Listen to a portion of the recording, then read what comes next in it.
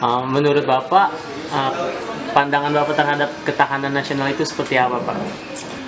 Uh, sebelum masuk ke intinya, gini,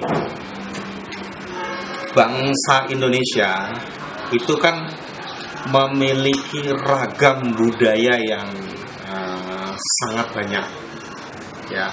Komparasi antara uh, suku dengan suku itu cukup uh, apa membuat bangsa Indonesia menjadi uh, amat kaya raya dengan gaya bahasanya. Ya, kalau kita melihat uh, suku Jawa itu sendiri saja uh, itu sudah uh, bisa kita lihat dari mulai ujung kulon sampai Surabaya itu memiliki ragam budaya bahasa sendiri-sendiri. Ya. Kemudian kita masuk yang namanya eh, kebinekaan ya, seperti Garuda buatan saya ini. Ya.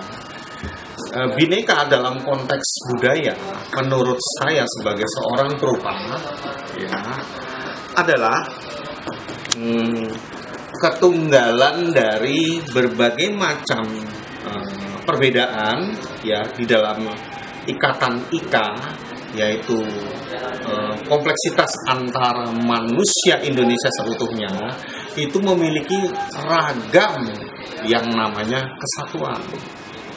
Misalnya kesatuan bahasa yaitu bahasa Indonesia ya. Terus kemudian kesatuan simbol Garuda Pancasila ya dan sebagainya. Nah, di situlah ketahanan nasional terbentuk.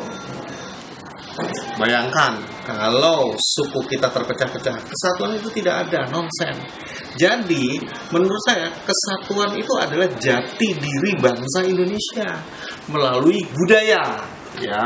Karena budaya adalah uh, uh, kontekstual uh, kepribadian uh, umat manusia yang ada di Indonesia.